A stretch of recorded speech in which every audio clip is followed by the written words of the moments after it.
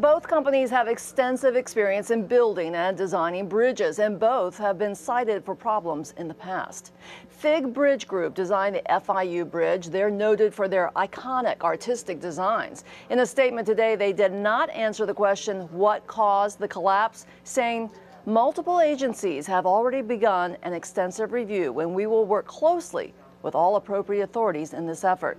FIGG also says this is an unprecedented event. No other bridge designed by FIGG has ever experienced such a collapse. However, in 2012, they were fined $28,000 after a 90 ton piece of the South Norfolk Jordan Bridge fell and hurt four people.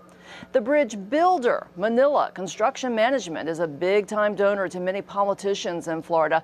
The family business has won almost $130 million in federal work since 2013. According to the Miami Herald, they have been inspected eight times since then and fined four times for more than $50,000 in violations.